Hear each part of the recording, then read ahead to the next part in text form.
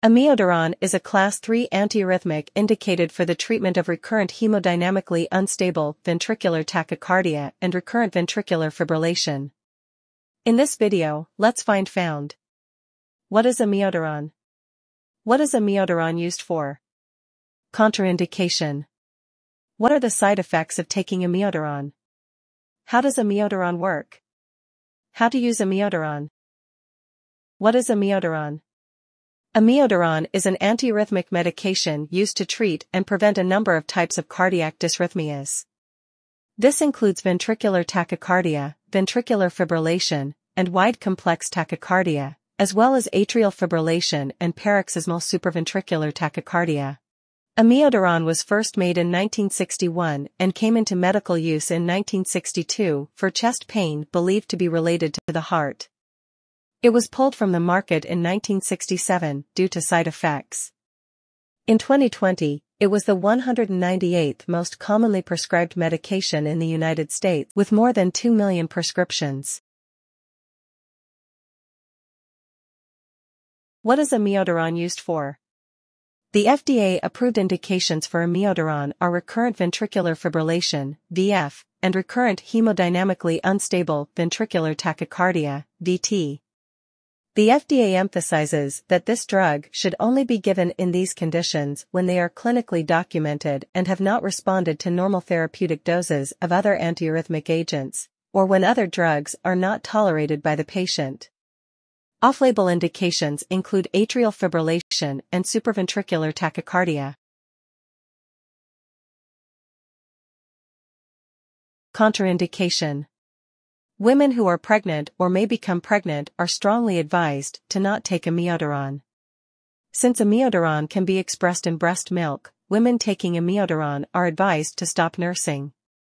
It is contraindicated in individuals with sinus nodal bradycardia, atrioventricular block, and second or third degree heart block who do not have an artificial pacemaker. Individuals with baseline decreased lung function should be monitored closely if amiodarone therapy is to be initiated. Formulations of amiodarone that contain benzyl alcohol should not be given to neonates, because the benzyl alcohol may cause the potentially gasping syndrome. Amiodarone can worsen the cardiac arrhythmia brought on by digitalis toxicity. Side effects Cough, dizziness, lightheadedness, or fainting. Fever, slight numbness or tingling in the fingers or toes. Painful breathing. Sensitivity of the skin to sunlight. Trembling or shaking of the hands. Trouble with walking. Pharmacodynamic. After intravenous administration, amiodarone acts to relax smooth muscles that line vascular walls, decreases peripheral vascular resistance, afterload, and increases the cardiac index by a small amount. Administration by this route also decreases cardiac conduction, prevent and treating arrhythmias. When it is given orally, however, amiodarone does not lead to significant changes in the left ventricular ejection fraction. Similar to other antiarrhythmic agents, controlled clinical trials do not confirm that oral amiodarone increases survival. Amiodarone prolongs the QRS duration QT interval. In addition, a decreased SA, sinoatrial, node automaticity occurs with a decrease in AV node conduction velocity.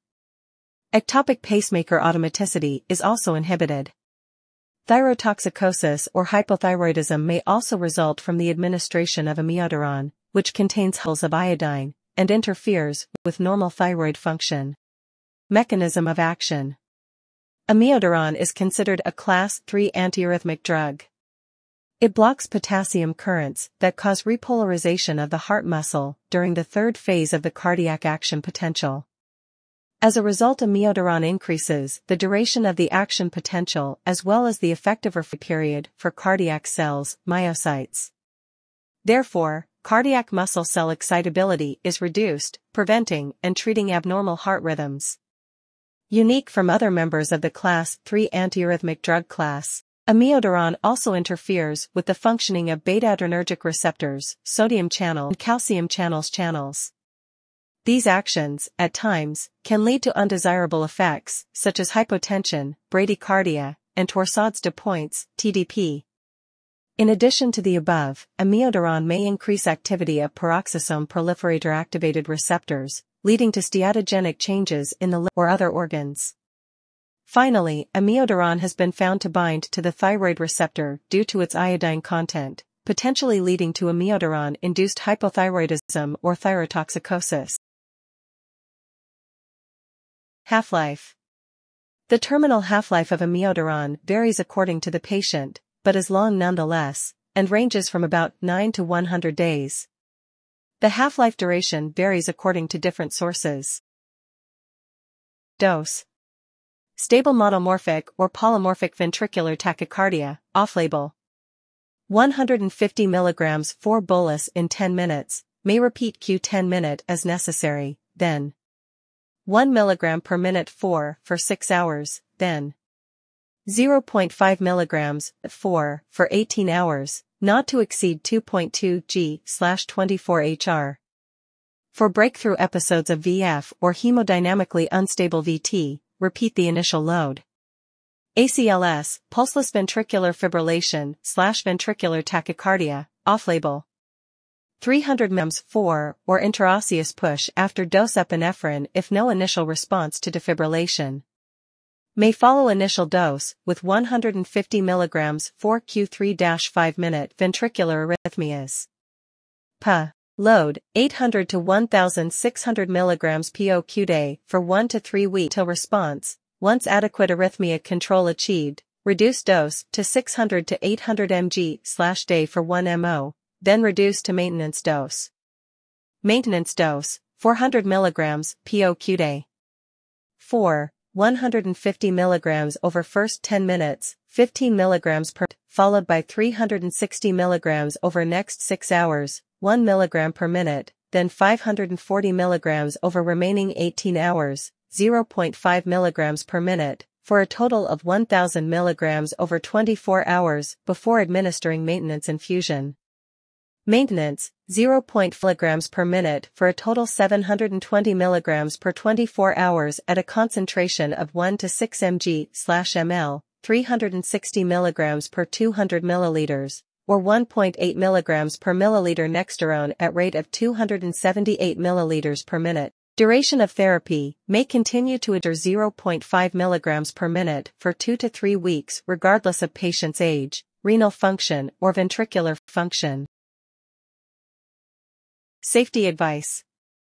Also, amiodarone from class 3, potassium blocking agents, is classified as category D due to the risk of fetal hypothyroidism, prematurity and growth retardation, while sotalol is classified as category B. That's all the information about amiodarone we collected. Thanks for listening.